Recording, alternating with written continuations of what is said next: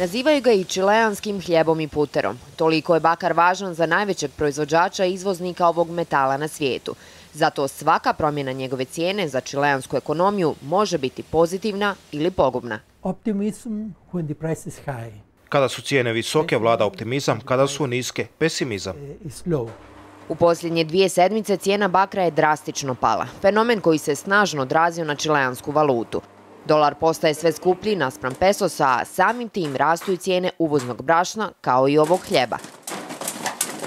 Juan Perez priznaje da pad cijene bakra znači nevolju.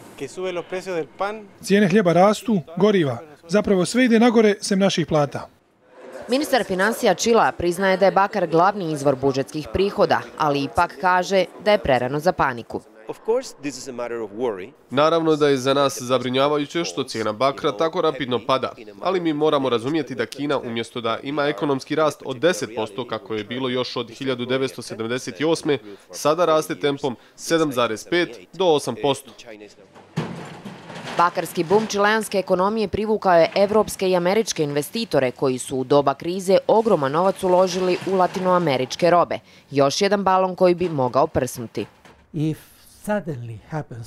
Ako se ekonomija Europe i Amerike oporave, onda će taj novac investitori vratiti i uložiti na svoja tržišta, što bi dodatno moglo sniziti cijenu bakra i to bi mogao biti veliki problem u budućnosti.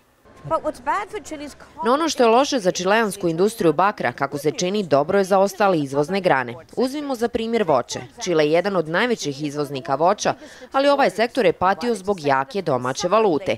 Proizvođači kažu da su mnogi proizvodi poput ovih malina i borovnica zbog toga postali preskupi za međunarodna tržišta.